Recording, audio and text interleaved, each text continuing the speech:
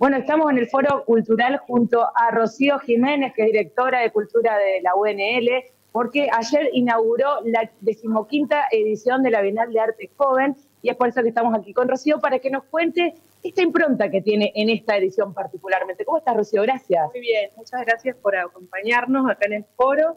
Eh, sí, la particularidad de esta decimoquinta edición de la Bienal de Arte Joven es que es exclusivamente en el Foro Cultural Universitario y eso responde a festejar de alguna manera los 30 años de esta política ininterrumpida de la UNL en un contexto difícil para la educación pública pero queríamos que esta, este evento sea un manifiesto en defensa de la educación pública, de la cultura pública, y bueno, artistas, docentes, la comunidad en general que siempre se acerca al evento, comprendió enseguida ese concepto, esa consigna, y participó más que nunca en el concurso que van a poder ver después la selección fantástica que hay en todos los campos. Vemos muchas obras que, bueno, plasman esto del contexto de falta de presupuesto educativo, con todo lo que, bueno, ya sabemos, eh, y por ahí plasmarlo es una forma de manifestar lo que estamos reclamando, ¿no? Eh, entonces, todas las actividades del sábado 21, que va a ser la Bienal, van a ser acá,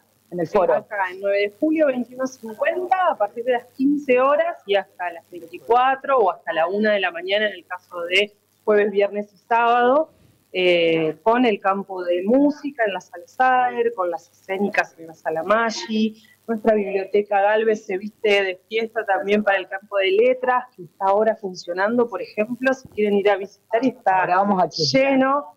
Eh, muchos chicos que entre los 15 y los 30 años vienen por primera vez a este edificio y se sorprenden de la propuesta que tenemos, así que muy contentos. Sí, hay que aclarar que, bueno, está clasificado, los que exponen, vos me decías, hoy hay dos, dos formas de clasificar, hasta los 15 es una de, las de las formas de clasificar a los artistas que van a presentar, y después... Hasta los 31, en esa franja, de los 15 a los 31, lo dividimos en categoría A y B, y eh, en cada uno de los campos, letras escénicas, visuales, audiovisuales, hay un equipo de juradores que elige y selecciona y después premiamos.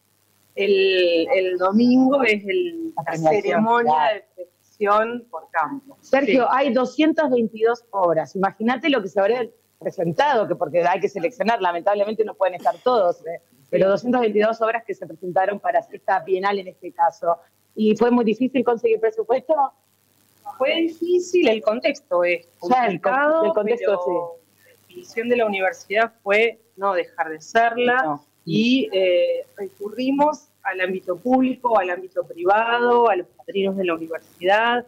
La verdad que tuvimos muchísimo apoyo del gobierno de la provincia, del Ministerio de Cultura, que siempre digo, la Bienal es un sello ya en la ciudad, en la región, y no fue tan complicado explicar cuál era el contexto y la necesidad de que el evento siga este, sucediendo.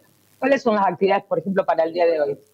Para el día de hoy comenzamos hace un ratito en el campo de letras, como les decía, en, en la biblioteca Galvez. Tenemos, bueno, la muestra de artes visuales recorre todo el edificio, el edificio nuevo, el edificio histórico, y la pueden visitar desde que se abren las puertas hasta el cierre. Eh, y después empiezan a suceder, por ejemplo, obras que son del campo de híbridos, que tienen algunos horarios puntuales. Yo los invito a recorrer la programación, que es muy extensa, en la agenda cultural de la UNL o en la web de la, de la UNL.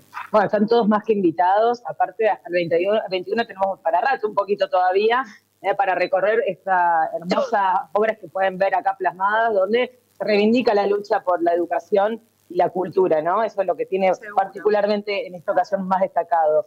Sí, la Bienal lleva un proceso, incluso educativo. Nosotros vamos a las escuelas, barrios de la ciudad, de los centros universitarios, en Reconquista, en Rafaela, en Galvez. Eh, la región participa y fuimos activando esta idea, generando intervenciones con los chicos y chicas que hoy se van a ver, por ejemplo, incluso hasta en los bares de la Bienal están este, decorados con lo que fue toda esa expresión de alzar la voz en defensa de la educación pública. Me parece genial, así que no pierdan la oportunidad porque la entrada, como siempre, es libre y gratuita. Así que desde las 3, desde las 15 horas hasta las 24 hoy y mañana y después hasta la 1 de la mañana, jueves, viernes y sábado. Rocío, muchísimas gracias y bueno, que sea un éxito como siempre. Bueno, muchísimas gracias.